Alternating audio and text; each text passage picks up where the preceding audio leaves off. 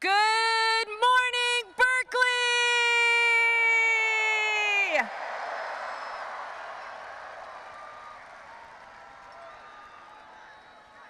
Good morning.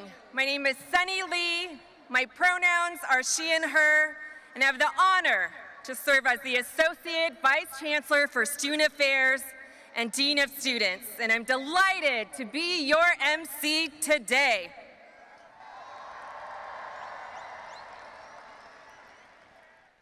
On behalf of the University of California, Office of the Chancellor, and the Californians class of 2023, we are honored to welcome you to the 2023 commencement ceremony in the historic California Memorial Stadium.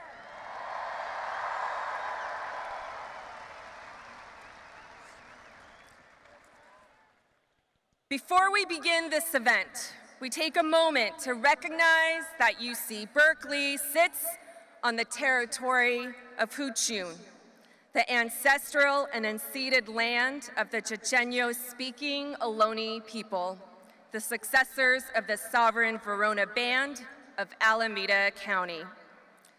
This land was and continues to be of great importance to the Muwekma Ohlone tribe and other familial descendants of the Verona Band.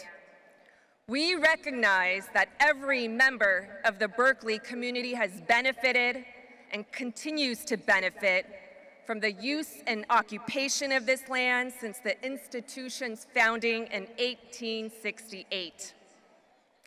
Consistent with our values of community, inclusion, and diversity, we have a responsibility to acknowledge and make visible the university's relationship to Native peoples. As members of the Berkeley community, it is vitally important that we not only recognize the history of the land on which we stand, but also we recognize that the Muwekma Ohlone people are alive and flourishing members of the Berkeley and broader Bay Area communities today.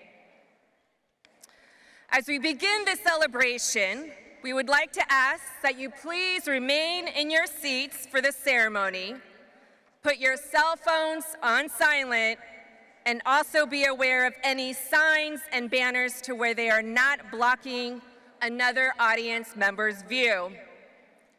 We ask that all members of the audience allow other audience members to enjoy the program without disruption.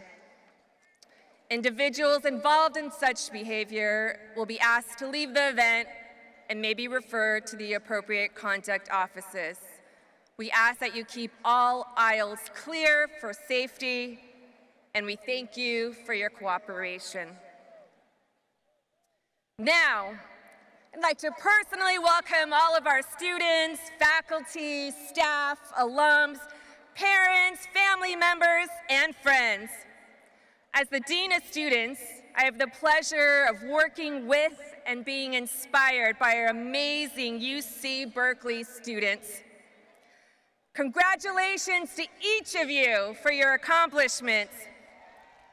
Yes, give it up for our class of 2023. They've been through so much, got through a little thing called COVID. Graduates, your presence on this campus whether virtually, remotely, or physically, has made us a better place. And your legacy will live on far past this day as you continue to be proud Cal alums. Now, please welcome our stage party, the Californians, class of 2023, the student award recipients, and our commencement performers led by Stephen Sutton, Vice Chancellor for Student Affairs.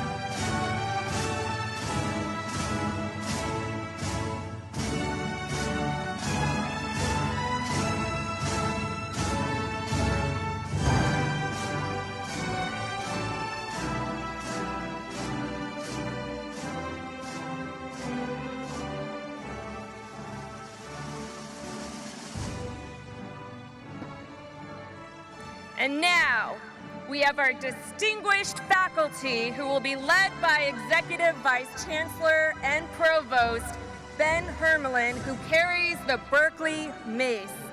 They will be followed by the academic procession and the official stage party.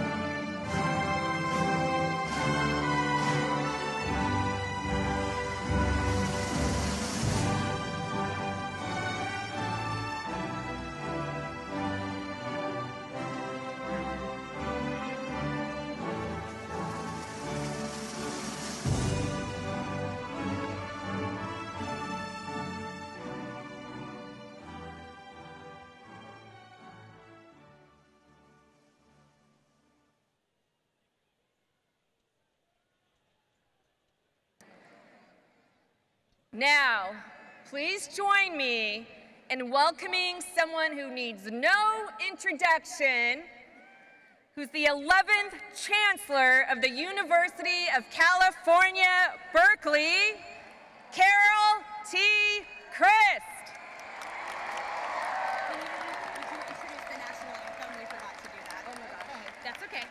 Uh, can we give her the national anthem?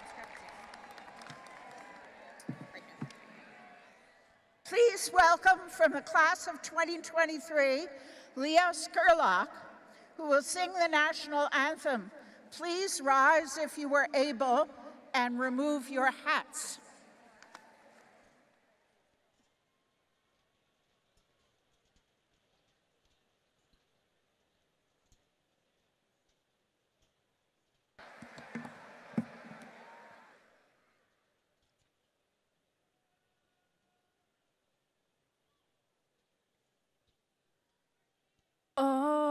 Say, can you see? By the dawn's early light what so proudly we hailed at the twilight's last gleaming, broad stripes and bright stars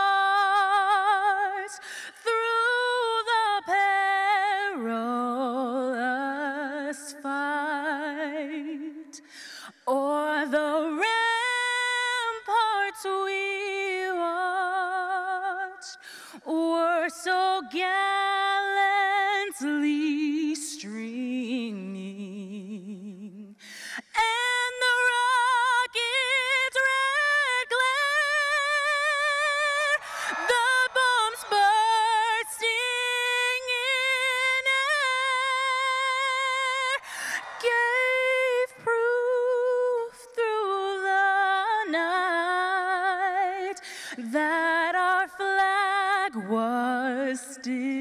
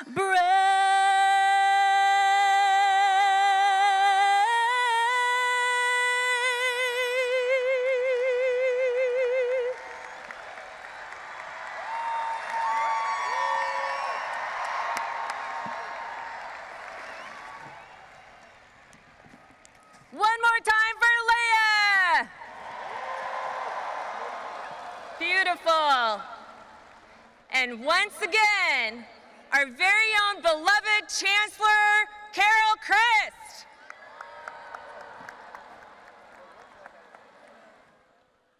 Let me begin by offering my heartfelt congratulations to you, this member, the members of this remarkable and resilient graduating class.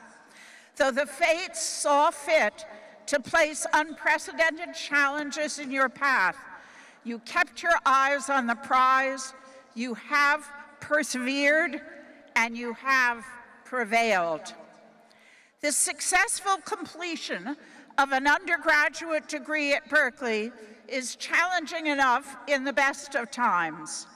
With that in mind, I can only marvel how you navigated that perilous and unexpected intersection between the start of your college careers at Berkeley and a global pandemic.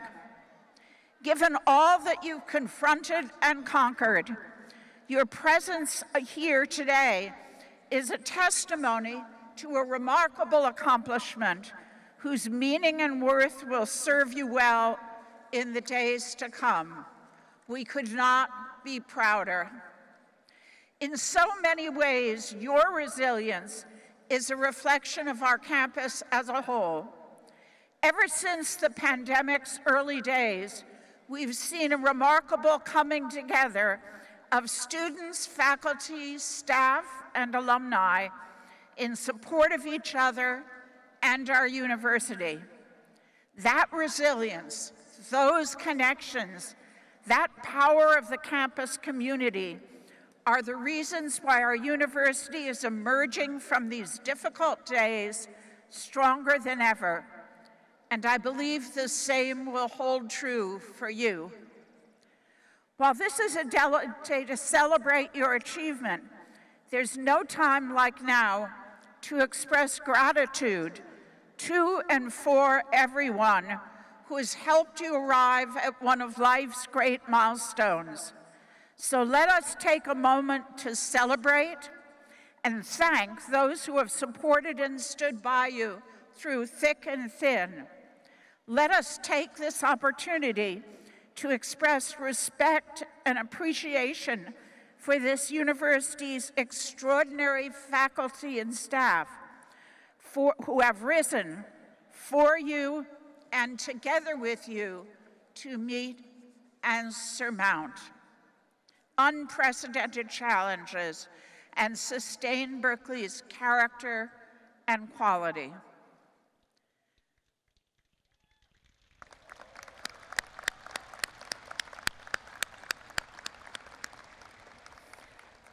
I knew it took a lot of hard work on your part to get here. I know the toll these times have taken on you, your families, your friends, and the array of communities, large and small, that you belong to. Yet there's ample reason for hope. Behavioral and social science teaches us that unsettled times of change and transformation have the potential to facilitate personal and societal learning, growth, and adaptation. We're living in a historic moment when everything is shifting about us in ways that will have a profound impact on the future. This may be a perilous time, but so too is it a time of creative ferment and possibility.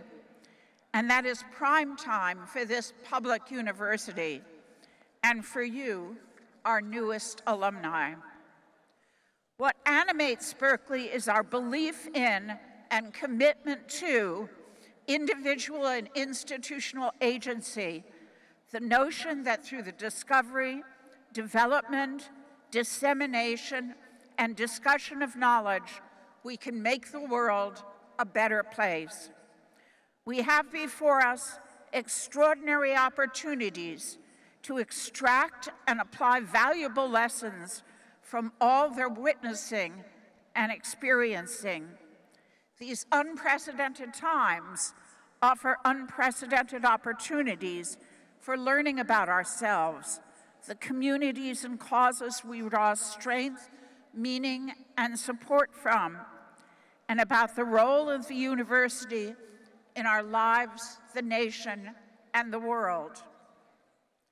Now more than ever, the world needs all that you have to offer as the beneficiaries of a Berkeley education and experience, as changemakers committed to advancing the greater good. Today, as you stand at one of life's great crossroads, take a deep breath, pause, reflect, and consider the road you've traveled and all that you can and will carry with you from Berkeley into your personal and professional lives. You've been taught how to learn by some of the world's greatest teachers. You value the truth and know how it must be protected. You believe in science. You know that conventional wisdom can and must always be challenged in order to find a better way. You know how to thrive, not just survive, amidst diversity of origins, identities, and perspectives. You emerge from a campus culture shaped by thousands of alumni who fought and fight for justice, equity, and inclusiveness. You're able to adapt and persevere in the face of challenge and hardship. Your generosity is a sure sign that you share the gratitude I feel for these attributes, values, and aspirations that form the foundation of all that Berkeley has to offer. Together, between last July and March, Berkeley students raised over $85,538. This golden gift, as it's known, will be shared with programs and departments across the campus. Thank you to all the students for keeping Cal golden. May your years ahead be richly rewarding and fulfilling, and may you enjoy very much happiness. Hold tight to all the things you carry from Berkeley and may they always serve you and the world around you well. We're immensely proud of what you've done and even more of what you will become. Fiat Lux and go Bears!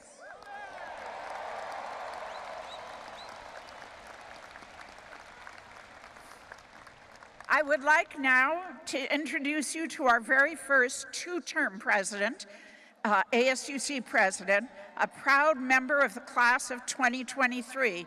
Please join me in welcoming Chaka Tellem.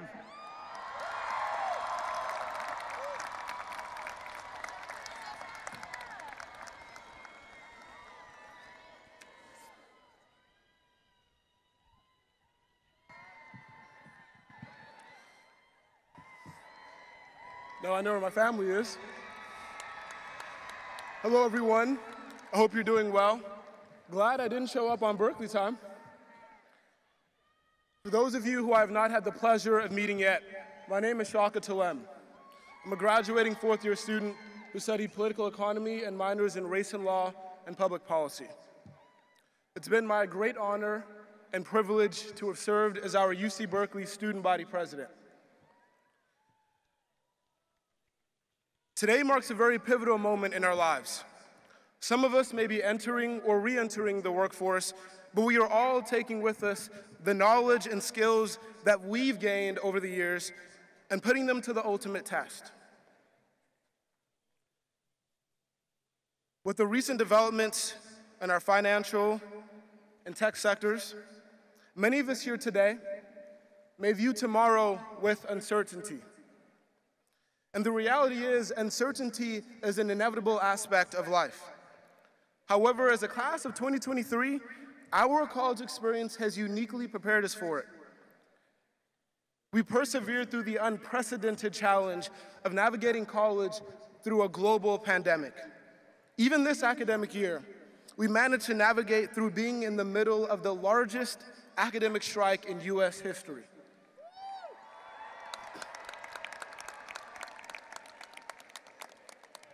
For us, uncertainty feels almost as familiar as a struggle to find housing in Berkeley. While uncertainty might feel lonely and isolating, remember we're never truly alone. Each diploma earned today is a representation of the collective sacrifices made not only by us as graduates whose names are written on the diploma, but also by those around us, our loved ones who invested their time and energy to ensure our success. So let's take a moment to show our gratitude for their unwavering dedication.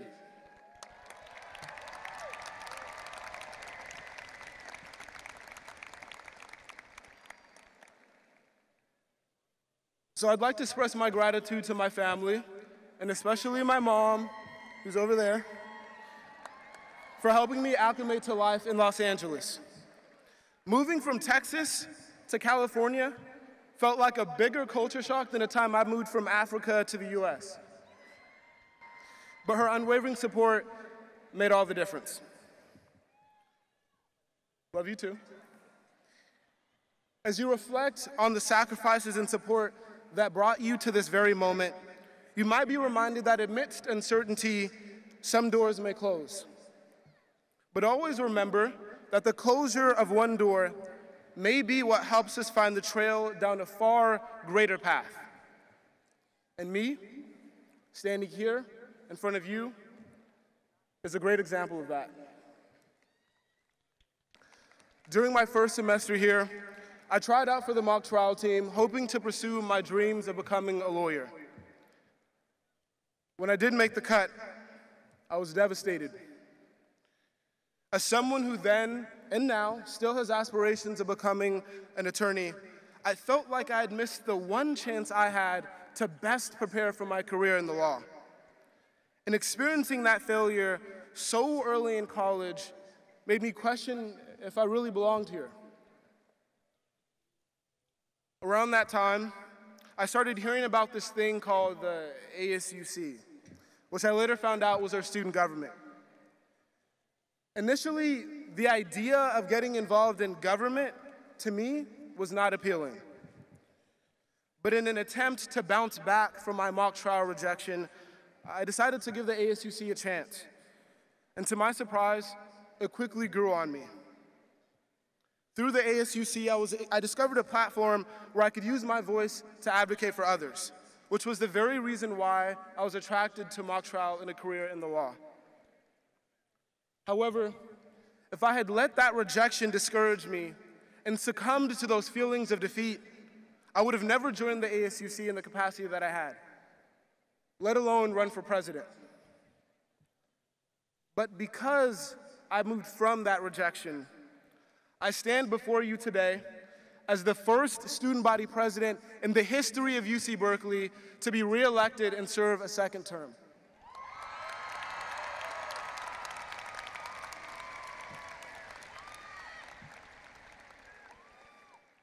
So, as we move forward into this next chapter of our lives, let us remember that success is not defined by the absence of failure, but by the ability to learn and move from it. Let us embrace uncertainty with the same resilience and determination that brought us to this very moment. And let us continue to strive towards our dreams, knowing that the doors we thought were closed may end up leading us to even greater opportunities. To the class of 2023 and the rest of our Golden Bear family, I look forward to the moments when I wear my Cal quarter zip down the street and across I hear someone say, Go Bears! Thank you all so much for an amazing college experience. Go Bears and Fiat Lux.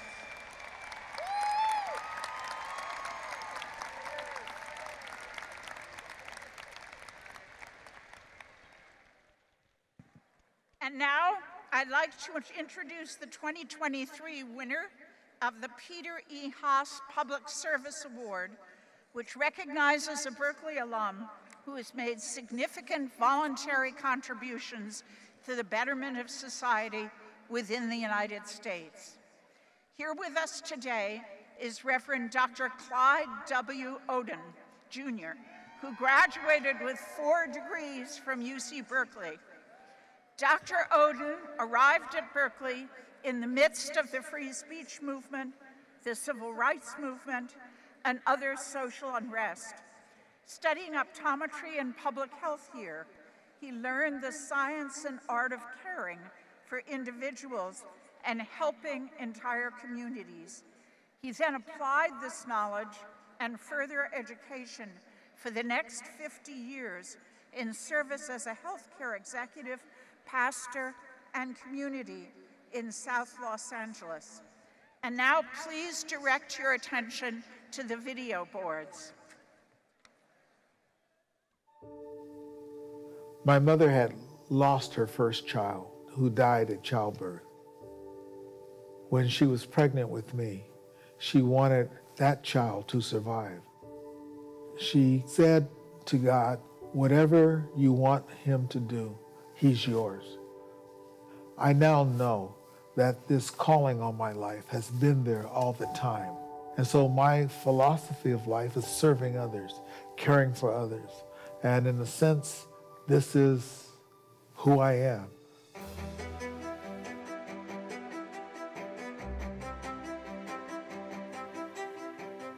When I started at Cal, I was leaving a conservative San Diego.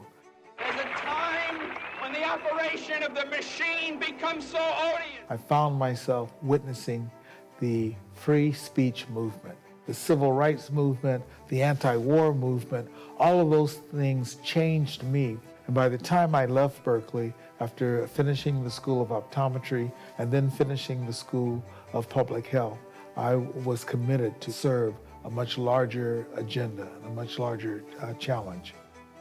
Dr. Oden left Berkeley with four degrees three in optometry and one in public health, along with a lifelong commitment to help people in need. In 1969, he went to work for the Watts Health Center, which provides a range of medical and social services. He would rise to be their CEO, serving the South Los Angeles community as a healthcare leader for 33 years.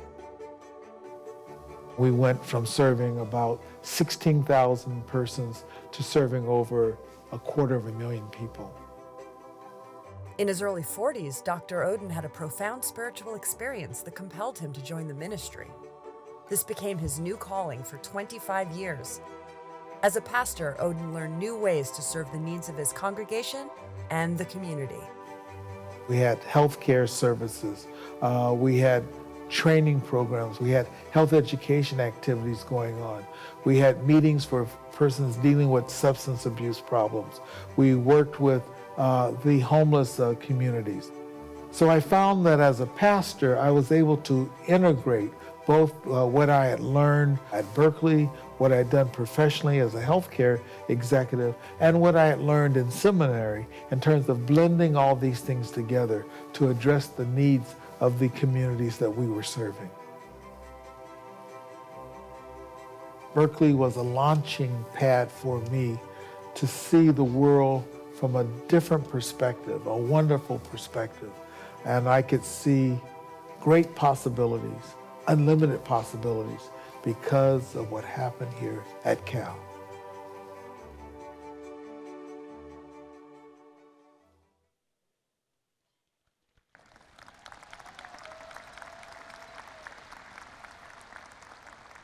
Please join me in welcoming Reverend Dr. Clyde W.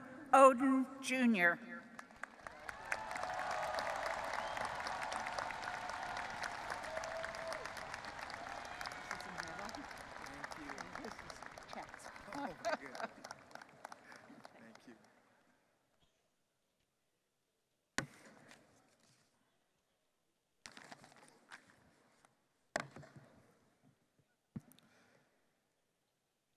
To Chancellor Christ, to ASUC President Tellem, to Dean Flanagan and Dean Liu, to the faculty and to the staff, to our speaker, Steve Wozniak, to the students of UC, and to the graduates, the class of 2023. Congratulations.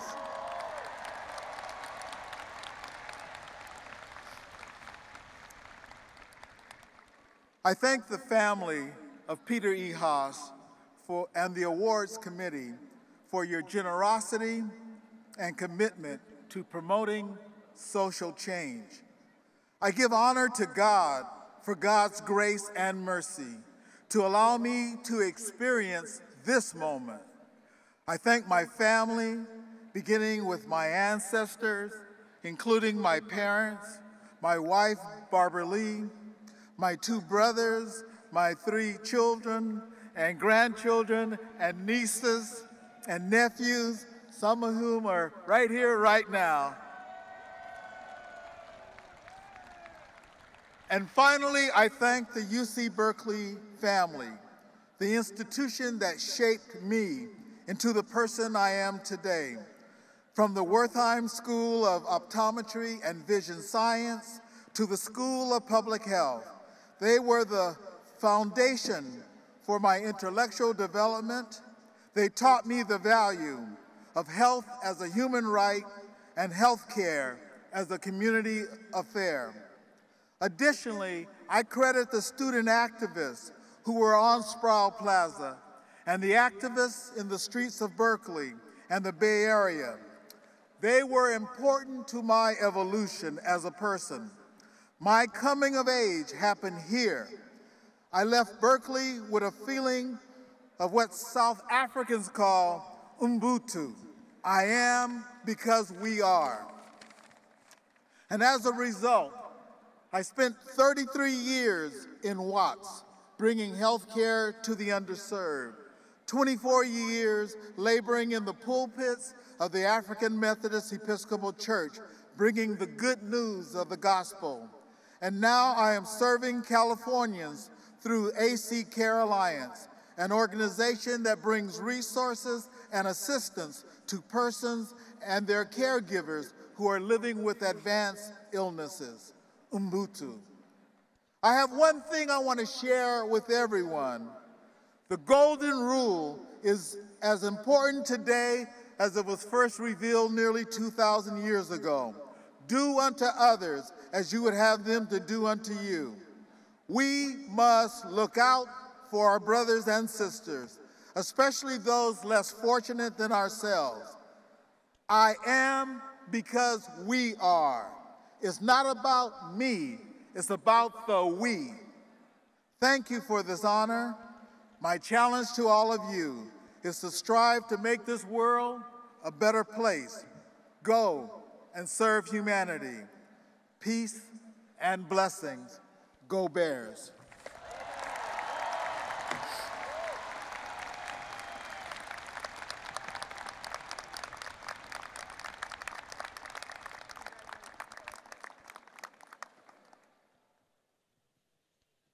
It gives me great pleasure to acknowledge awards to some of our many outstanding graduates. Please rise when I call your name. The Jake Gimbel Prize is awarded to Max Schumacher of rugby.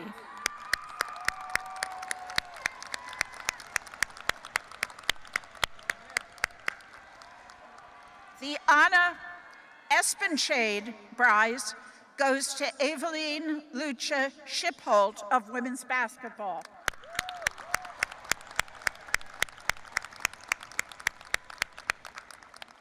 The highest honor the university can give to a student is the University Medal. The following students are the University Medal finalists. Please come forward for your certificates.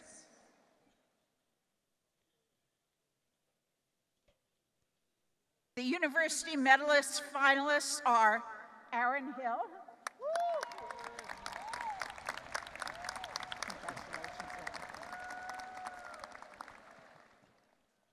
Rohith Sajiv.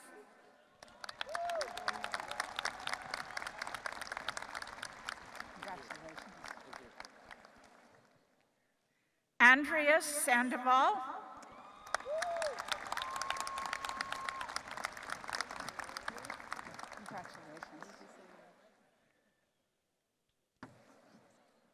And Rosie Ward.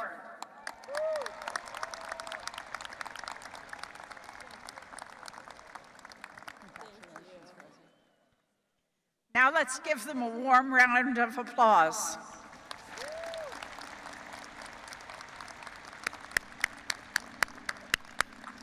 It now gives me great pleasure to present the University Medal to the most distinguished graduating senior on the Berkeley campus, Catherine or Katie Nieves Vera.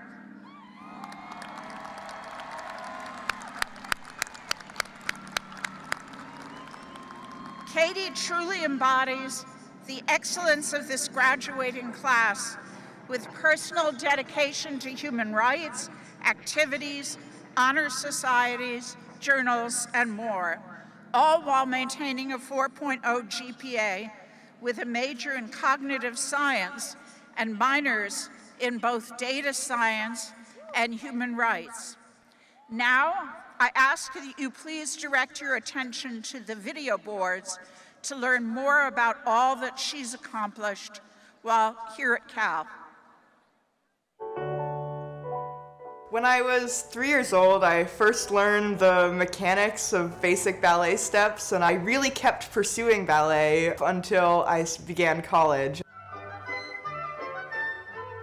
When I was 14 years old, I discovered that a mass was growing in my stomach and it was a malignant cancerous tumor. I had multiple surgeries. It was an arduous process of at least five years, but it also meant the loss of this dream I had to pursue ballet full time.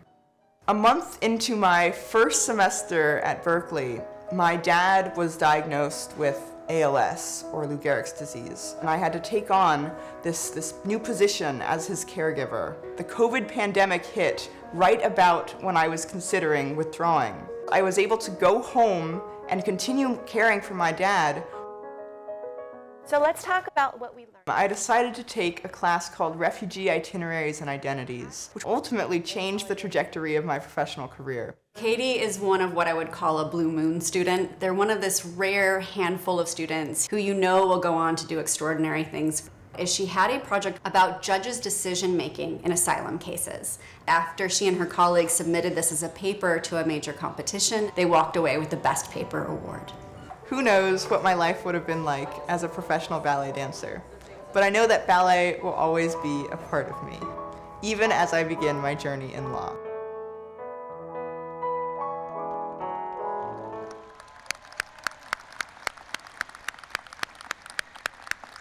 Catherine Nieves Vera, it's my honor to present you with the University Medal. Congratulations.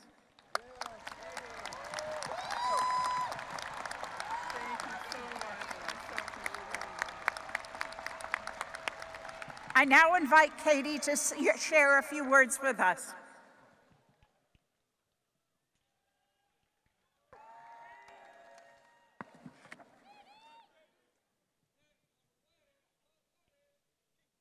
Hello, fellow graduates, distinguished faculty, and esteemed guests. It is an honor to speak with you today. My name is Katie Vera, and I am beyond grateful to be the class of 2023's university medalist.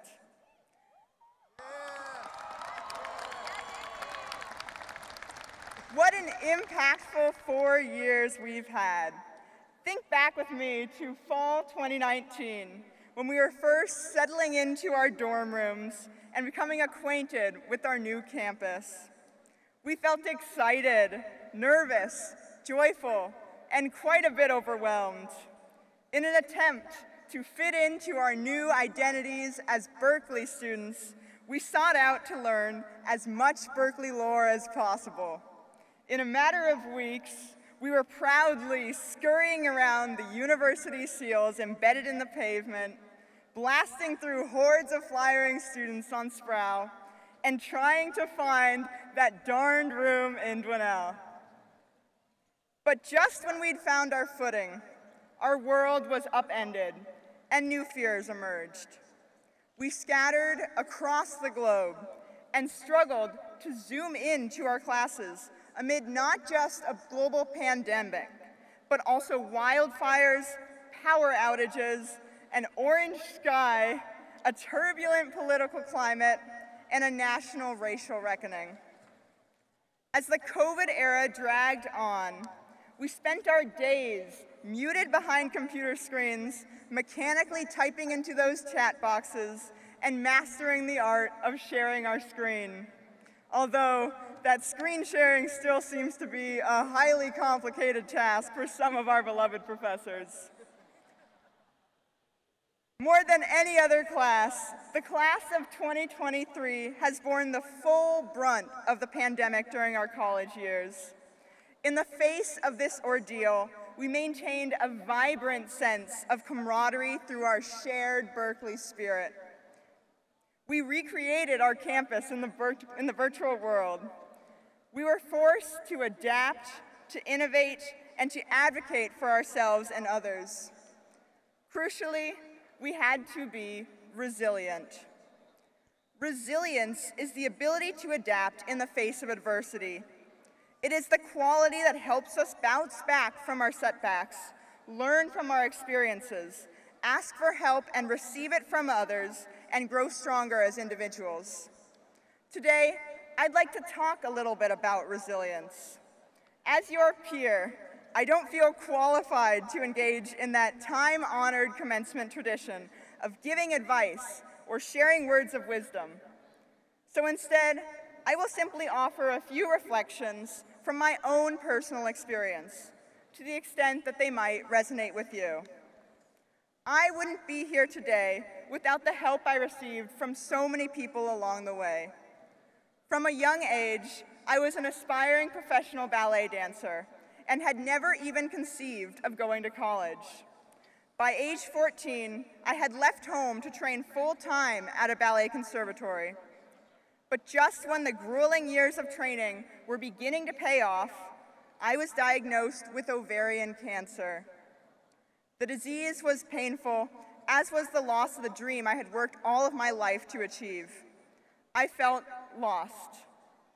But I mustered up the courage to reach out to my community for help, and they flooded me with support. In time, the scars, both physical and emotional, began to heal. Ultimately, I sought out a new and previously unimaginable path. I applied to college, and I am so grateful that Berkeley took a chance on me. At Berkeley, I found a beautiful, vibrant, and at times daunting world that ignited my intellectual curiosity, introduced me to brilliant professors and lifelong friends, and fostered my love of learning. But before long, my life ran headlong into another adversity. My dad was diagnosed with ALS.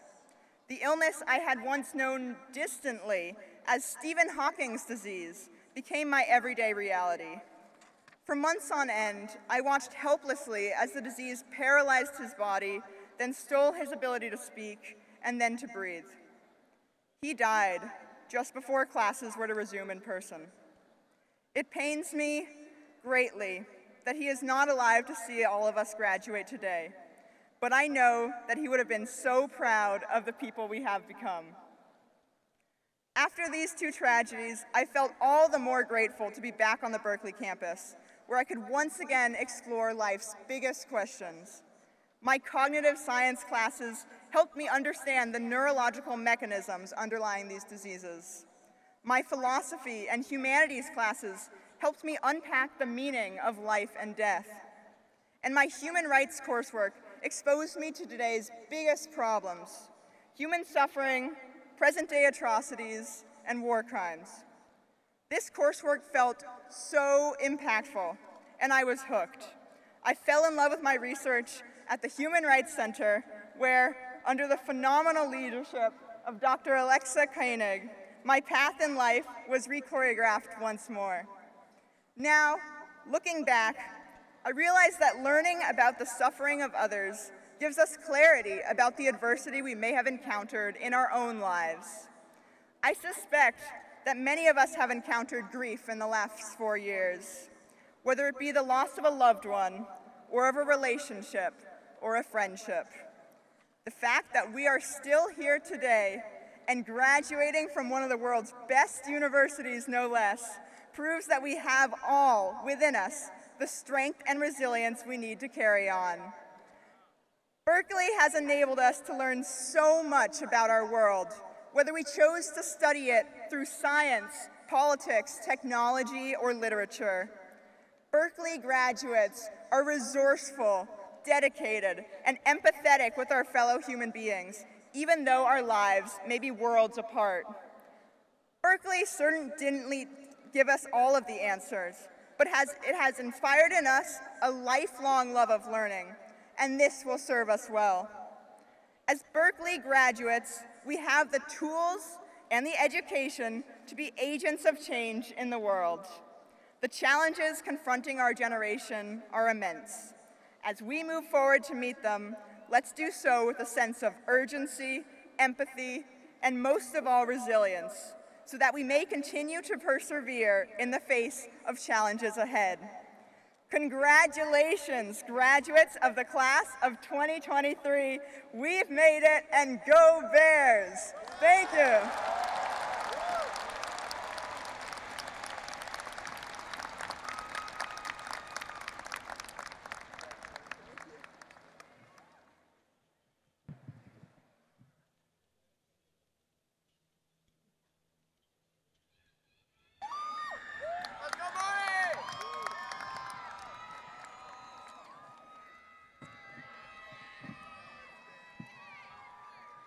Good morning.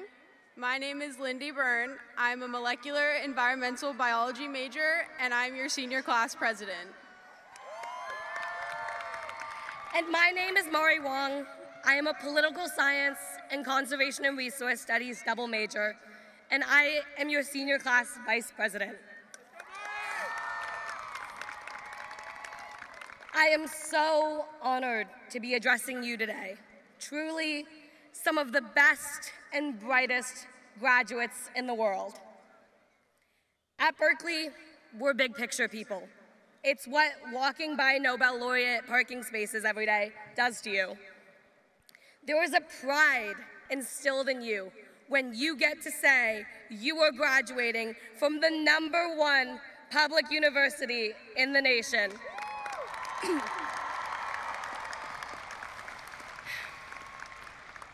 But the hardest question always seems to be, what's next? Before we've even closed this chapter, we are asked, what comes after Berkeley? My parents are here, and they don't know what I'm about to say, but I wanted to share their love story with you. Both sides of my family are from Hong Kong.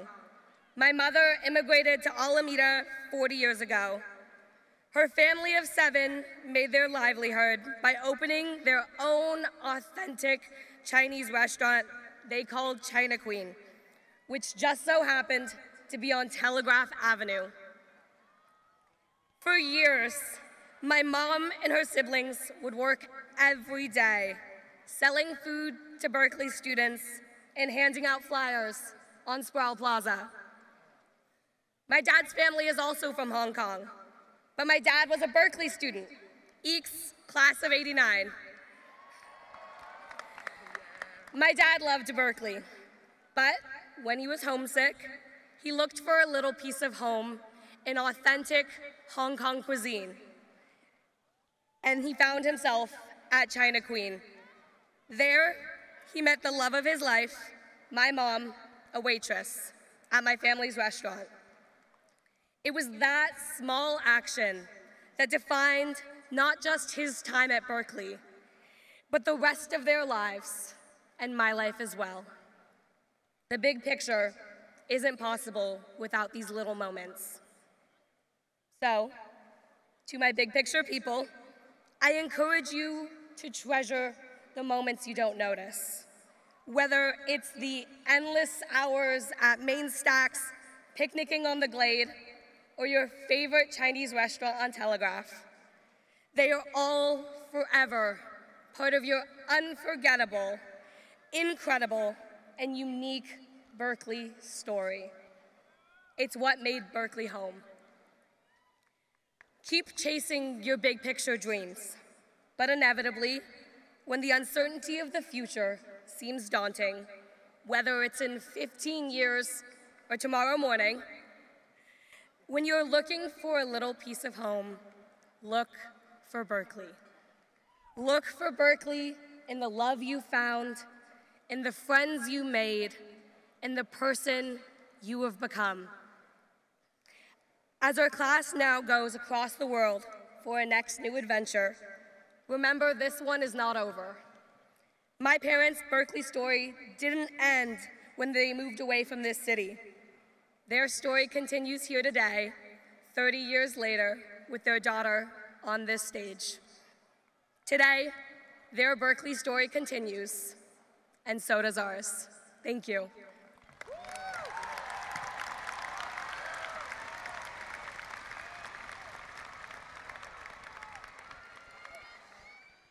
A few weeks ago, at the ripe old age of 21, I called my dad as I was having what I deemed my quarter life crisis. I was hoping he could sprinkle a little wisdom and knowledge on me. I began by explaining to him that I was feeling sad about leaving school and scared to miss my friends and the life I had created here. The first thing he said to me was, What a privilege it is to have something to miss. So, as we sit here today, ready to make the long awaited jump into our next phase of life, I hope we can each think about the privilege we have had these last few years. The privilege to continue our education under some of the most brilliant professors and teachers in the world. The privilege to be surrounded by peers that have pushed us to be the best versions of ourselves. And finally, the privilege to be surrounded by friends, family, and mentors who have made a permanent impact on our lives by supporting us along this wild journey we call college. While earning a degree at this school is undoubtedly an incredible solo accomplishment, I know for a fact that I wouldn't be here today without the support of so many people. So I propose a challenge to each of my fellow graduates of the class of 2023. Firstly, to not only recognize the immense determination and willpower within yourself that it has taken to achieve our goals here today, but also to say thank you to someone who has helped you reach this ceremony. One of the greatest life lessons I have learned in my past four years here is to recognize and show gratitude to the people who have helped us in times of need. On that note, there are a few more promises I want us to make to one another today. Promise to try to find passion and pride in the work we are doing. Promise to enjoy life and have some good old fashioned fun once in a while. And lastly, promise to always take pride in our Cal family. Although we leave Memorial Stadium today for the last time as Cal students, we take with us the impact that this university has had on us through such a formative time in our lives. As a campus community, we have pioneered through a lot together. I take pride in being part of the class of 2023, and I can confidently stand here and say I will forever bleed our Cal blue and gold. Finally, It has been my privilege to serve you as class president, and it is my honor today to introduce another member of our Bear family who continues to represent our school proudly. A Silicon Valley icon, technology entrepreneur,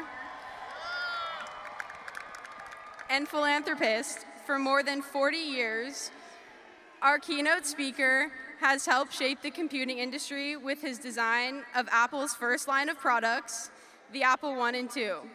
He and Steve Jobs founded Apple Computers Incorporated with his Apple I personal computer, and in 1981, he came back to UC Berkeley and finished his degree in electrical engineering and computer science. I think I speak for almost every graduate sitting here today when I say that without the work done by our keynote speaker, we would not be able to have completed our time at Cal. We literally carry the work done by this Berkeley alum every day. And to me, Apple is a reminder of the endless capabilities that each and every one of our Berkeley grads have. I cannot wait to see the work I know we will all contribute to this changing world. To date, he has received 10 honorary Doctor of Engineering degrees, for his achievements at Apple, he was awarded the National Medal of Technology by President Ronald Reagan in 1895, the highest honor bestowed on America's leading innovators. Through the years, he has been involved in various business and philanthropic ventures, focusing primarily on computer capabilities in schools and stressing hands-on experimental learning that encourages creativity and innovation by students. To all my iPad kids out there, this one's for you. From our very own class of 1986, Steve Wozniak.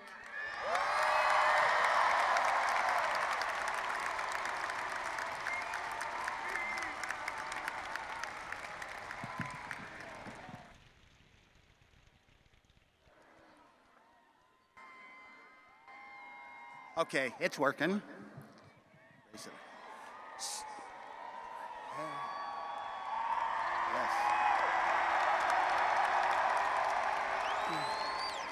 I have always honored the younger over the older in my life. Um, anyway, I was told today to be brief and funny, so under my robe, I'm wearing my briefs. Thanks. I'm, I'm often asked what my proudest moment was in my life. And I'd answer, it's my graduation from Cal. And we say, my school, right or wrong, my team, right or wrong. Eventually we'll say, our, my country, right or wrong. But we really should question such things and not just accept them. We should always challenge to be better. Um, there was a time when um, my, I had two of my kids the University of Colorado when it got into the Pac 8, and we watched Berkeley demolish their basketball team, and then we went to a game at Stanford Stanford versus Colorado. And Janet and I, they spotted us. They spotted us and they put us in the front row of the arena, in the athletic director's box, the front row, and we're dressed in Berkeley colors, rooting for Colorado at Stanford.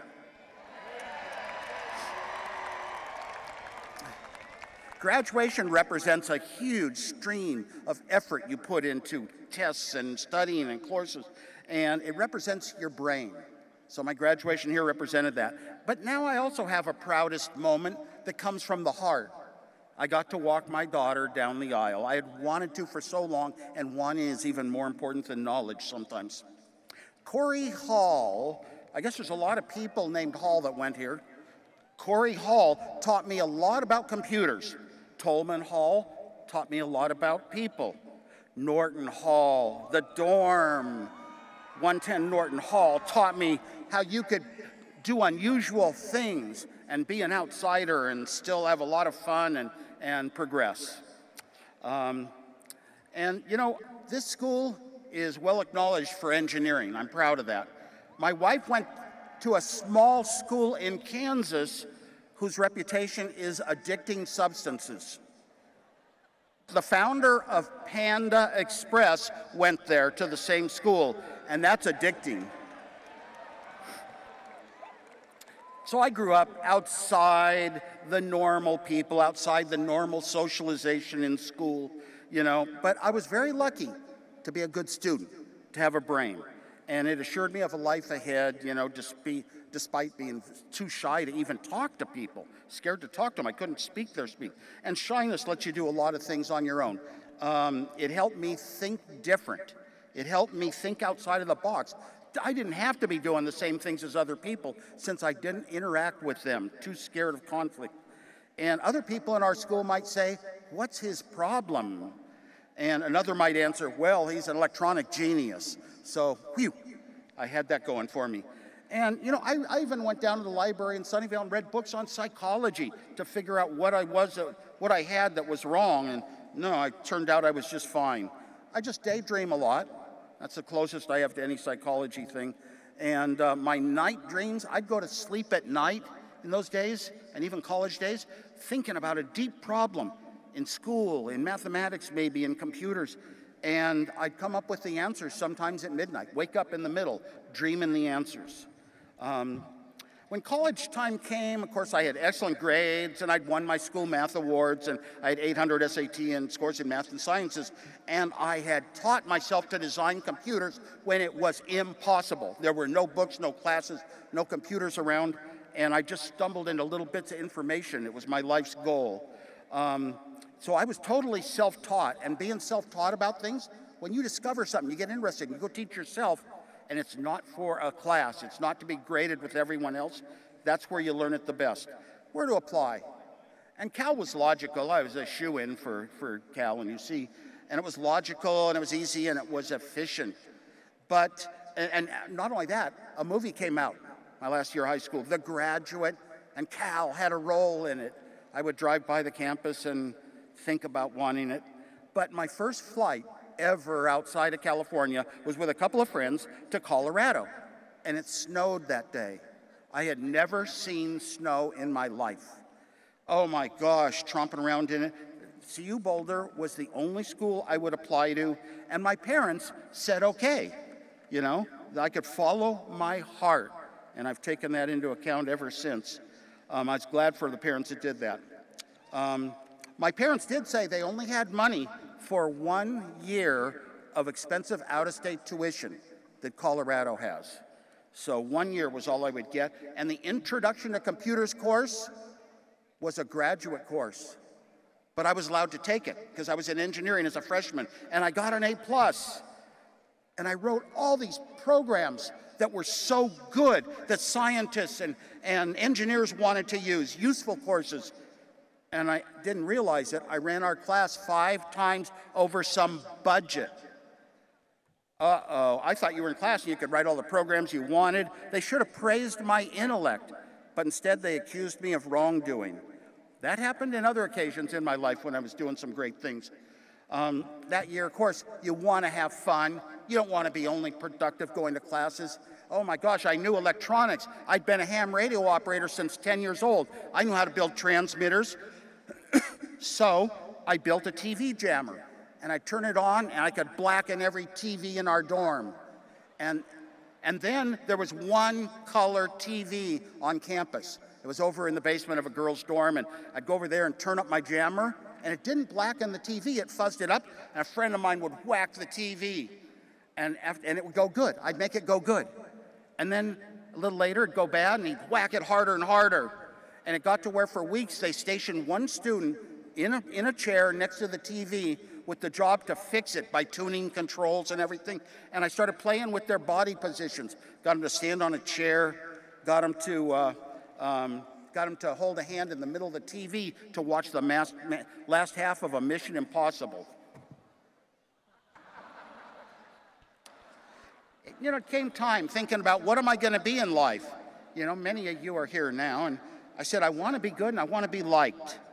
But I was, you know, unable to talk to people. But I, I decided that honesty was the most important thing. You're honest. If you're even doing something bad, you'll at least be honest with it with your, um, you know, those that are close to you. So when I was at Berkeley, building little devices that made free phone calls, I told my parents, and all, they said, they said, just don't do it in our house. So I did it in the dorm. And I came up with formulas thinking, what's important? I read a book about a guy that was buying and selling half billion dollar companies in today's dollars. Sumner Redstone was his name. And I thought, would I want to be that person with that much power?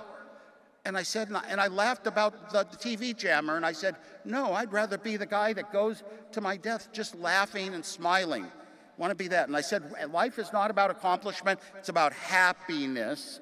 And my formula for happiness, thank you, because this was the best thing I ever did in my life, much more important than Apple.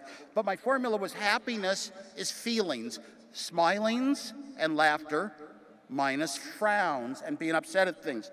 So, of course, I found ways to have a lot of laughter. I, I loved music. It was magic drops of love in the air to me, you know, and a lot of the lyrics, you know, were guides to my own personal philosophy in life. I would say, um, you know, like for example, how you avoid frowns.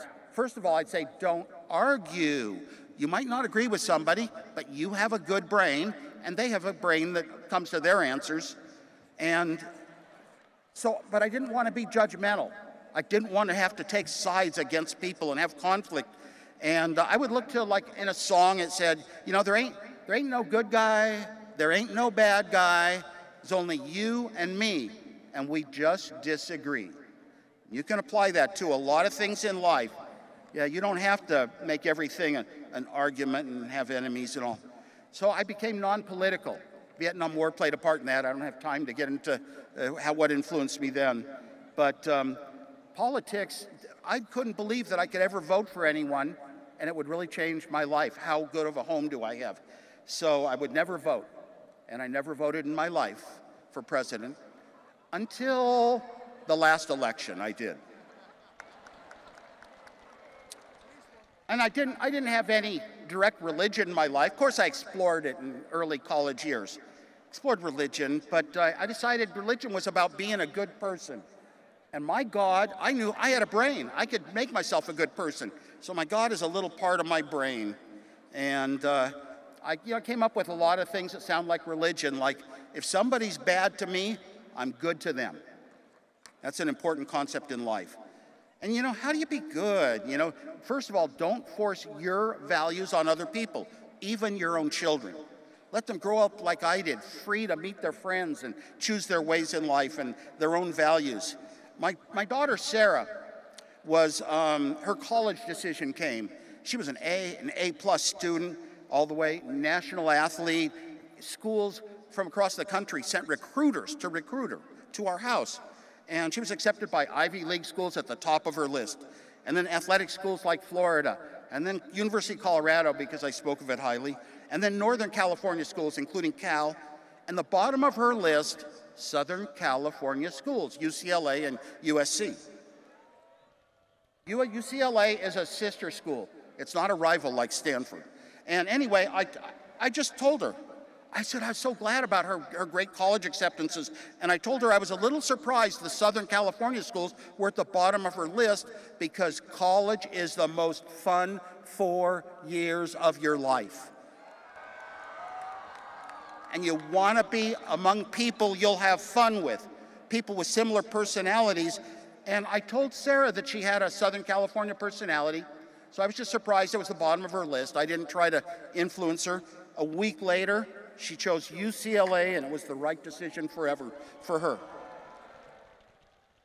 But, but she definitely is a fan of Cal. Yay, go Bears. Um, go Oski. So I, I, built a cream soda computer, I called it, in 1970, five years before Apple would start. And around the time Apple started, a bunch of other people were trying to build little small affordable pieces of equipment called they called computers that were the same thing I built five years before. No, I wanted them to become much more human. And, um, and then I met Steve Jobs around that time. And Steve Jobs valued my technical knowledge and abilities. You know, a lot of that coming from Berkeley. And uh, anybody who appreciated me and understood me was my best friend forever because I had no way to make friends really. So we became great friends.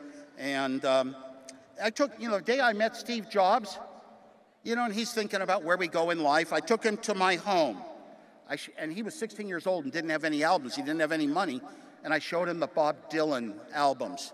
I showed him strange interviews and liner notes, the lyrics to unbelievable songs. So it became a big part of our lives.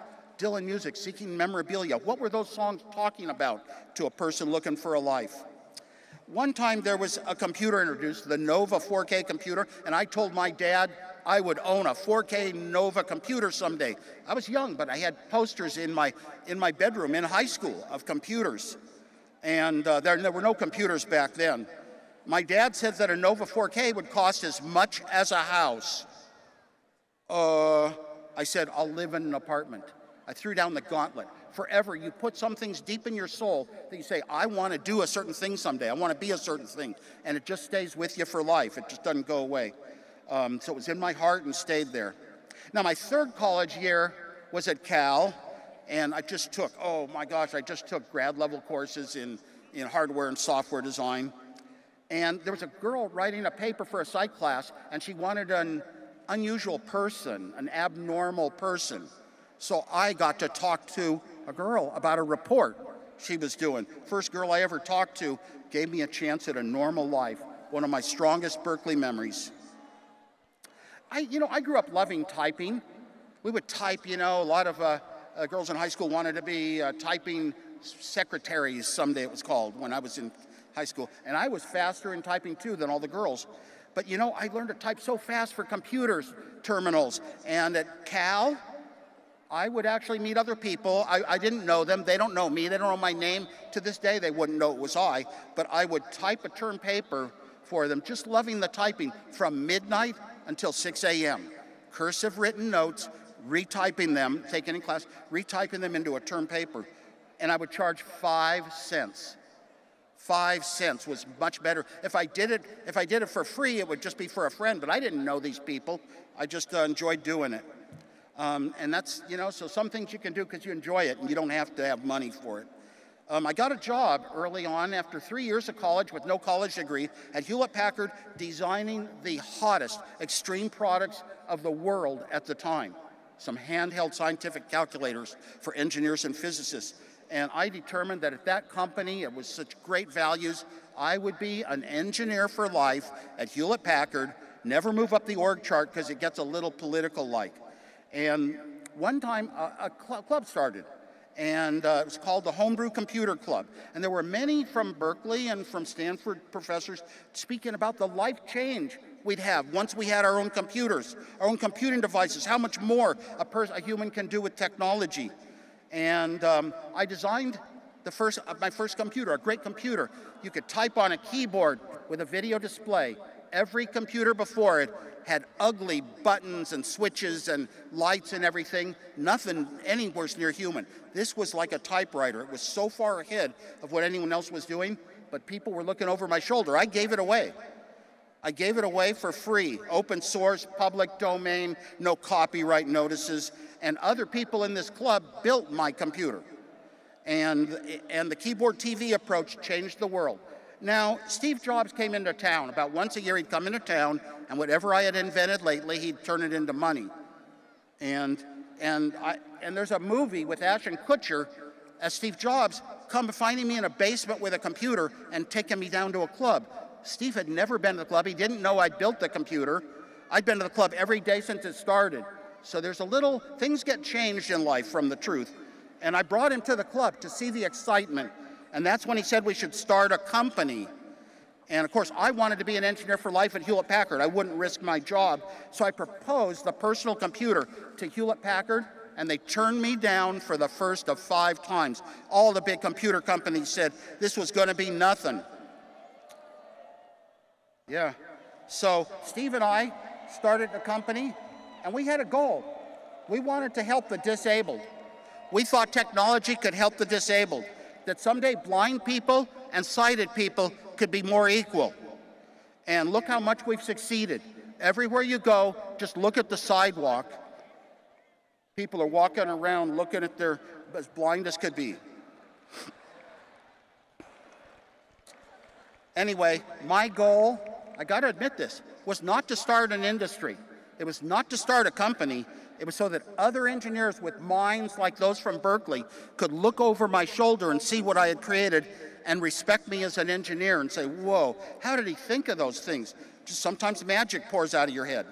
Well, turns out that a computer I built was going to be all of the profits of Apple, the only profitable product for the first 10 years of the company. What made Apple? And it was, um, you know, Apple's now larger than the GDP of Great Britain and almost any stock exchange. And it was my Apple II computer that did that. The games were always important. Pong taught me a TV can be an output device. And I also designed a game called Breakout for Atari, lots of other games. And um, I was, what I was doing was I was designing a lot of, I got a reputation. An engineer, young engineer Hewlett Packard, designing products for people around California mainly, like the first hotel movie systems and other, um, you know, TV encoding algorithms. And I got this reputation. I always charged five cents. So, and I would do incredible, incredible um, digital designs. But um, I had built an, a terminal. I wanted to be part of the interesting things in the world. The ARPANET had been created. Six universities in the United States. Okay? Six universities. Now it's the internet with billions of connections. And I had a job, but I was young and I had a lot of time for my own things. So I built a terminal that could call the ARPANET. Had to be a part of it. Anyway, um, Fortunately, I came up with a, an idea for color. I was down to Atari and I said, wouldn't these games be beautiful if they were in color? Because they were black and white. And I, I, was a television engineer too, and I knew how to design color with di differential calculus and high level math. And no, I thought of an idea to do it with digital, with a number from a computer that a TV would think was color, even though it violated everything in any book. And that was for free. And that's what um, gave us a six color logo for Apple when we started the company. Nobody else was going to be able to do that. Anyway, I went back to Berkeley after a plane crash. I was working, Yes, yes, a plane crash. Ten years later, I called up Steve Jobs and said, "This is my last chance to get my college degree, my last year." And I wanted my kids that I would have someday to know I went to a college and I graduated from it. And the name on my Berkeley diploma is the name I used here because my name was famous by then, Rocky Raccoon Clark. That's on my diploma. So anyway, but I came back as a psych major. I wanted to study the brain. I wanted to study, um, you know, memories and things like that, and, uh, unusual thinkings. I came up with a stronger statement than in any book about where a memory might be. How do you read a memory in a person's brain? We don't know. You go in and analyze some synapses and say, oh, that's the word corn. Not, not going not gonna be. No, nothing said where a memory was in the brain, that it was in the brain even. And I came up with an observation. You lose two things between the ages of 6 and 10 your childhood, autobiographic memories, and your teeth. You know, there's this idea could we make a brain if we don't know, really know how it's wired? Could we make a brain like an engineer? And I was at a company where the engineers figured out how to make a brain. It takes nine months. Got into experimental research, very heavy in mathematics. Inferential statistics makes no sense to people who think they know normal statistics, descriptive statistics. And I got in there and I was tutoring student for five cents a session, but she needed simplified mathematics. So I looked at it and worked on the formulas that were not understandable by any human, and I came up with a totally different one from the books. And it was poetic and understandable and instructive and that the critical number that said, did your experiment work or not, the critical variable I came up with could be if you took each of the groups by age and gender and ethnicity differentials, took each of them, got, got a standard deviation and a, and a mean for each one on your calculator, you could take the critical variable was the standard deviation of the means divided by the mean of the standard deviations. So poetic and understandable you still had to multiply by the square root of n. Anyway, always have fun with numbers. I'm just giving one example. You can always have fun with numbers. For example, um, my age is 72. I like to tell people it's a palindrome. 72 is the same backwards and forwards. You're saying, what? In mathematics, mathematically, 72, 3 times 8 times 3. Backwards and forwards the same. 3 times 8 times. Or more poetically, 2 times 3 times 2 times 3 times 2. It's also 2 to the third times 3 to the second. I don't know what I'm going to do when I have a birthday now. Always look for ways to make life fun. Be inspired. Use your brains. Think for yourselves. Be leaders, not followers, doing everything everyone else is doing in a crowd. Inspire others yourself. Know that you are good for the world. Know who you are, and don't let that be changed even by success in your life. Strive for excellence. Try to be the best in the world. That's a good, good thing for Cal. Be gracious, whether you win or lose. Life is not a dress rehearsal. You are living it. It's not a dress rehearsal. Help others that are younger. Help others that are less experienced. Be mentors, be teachers. Someday, you may find you have no energy left to keep on giving. You can be thankful that you used everything you were given for this life. As you depart today, realize that time only moves in one direction.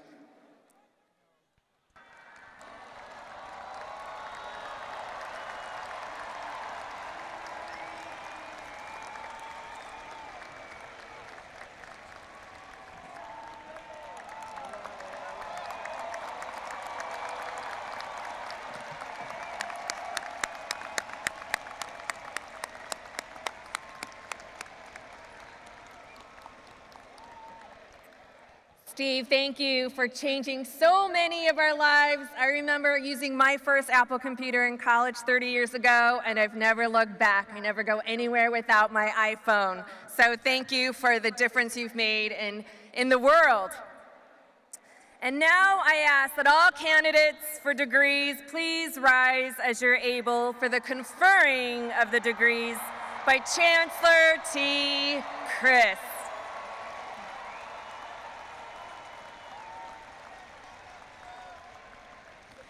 Graduates, please rise as you're able.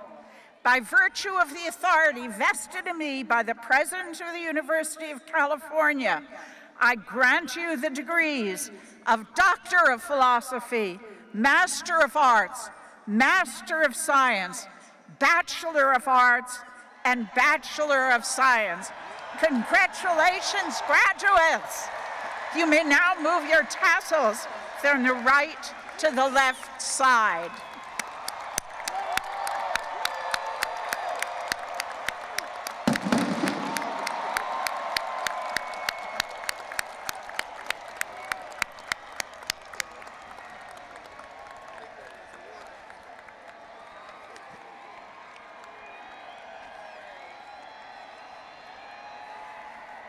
Please stand as the UC Men's Octet lead us in Hail to California, the university's alma mater.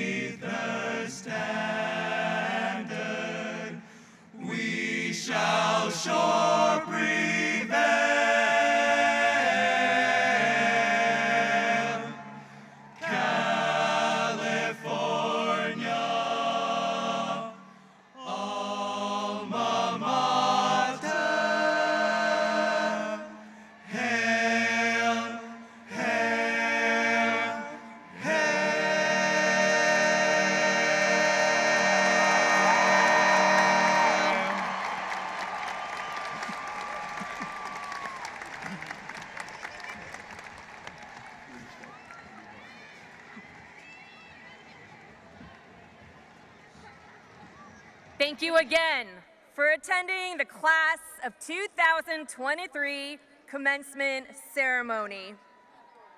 Congratulations to our phenomenal graduates and their families. Graduates, please recess up to the top of the stadium. Then meet your families down by Memorial Glade and remember to drop off your empty water bottles in the recycling bins on your way out. Guests, please remain in your seats until the recessional has been completed and join your graduates near the Campanile and Memorial Glade.